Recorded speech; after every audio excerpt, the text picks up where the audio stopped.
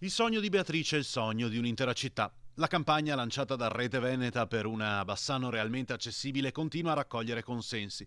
Il FAI ha ascoltato i nostri servizi e ha voluto esprimere il proprio sostegno. Ringraziandovi per la sensibilità con cui voi avete affrontato questo problema, che non è affrontato da molti perché è un problema ostico, va a intaccare delle problematiche che a volte insomma qualcuno cerca di evitare.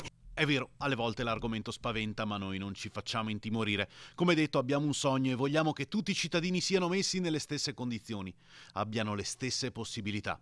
Nella vita di tutti i giorni e quando magari vogliono visitare un luogo di interesse culturale e ambientale. Una delle nostre priorità è proprio che il bene deve essere accessibile a tutto, soprattutto a quelle persone che già pagano purtroppo per una loro disabilità e per cui è giusto che abbiano la possibilità di vedere le bellezze che il nostro paese e non solo ha e per cui noi abbiamo un'attenzione molto, molto particolare per questo. Già dall'86 una legge dove diceva a tutti gli enti locali, pubblici, territoriali, per cui allo Stato, di non solo di affrontare questo argomento ma addirittura di accantonare una quota nel bilancio annuale per poter poi fare questi lavori di abbattimento delle barriere.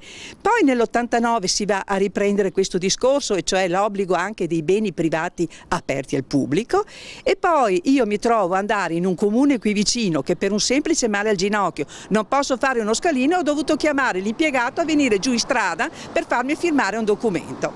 Il sogno è quello che tutti i comuni adottino delle misure per garantire l'accesso ai disabili. Noi iniziamo dal Bassano, poi siamo sicuri molti seguiranno questo buon esempio.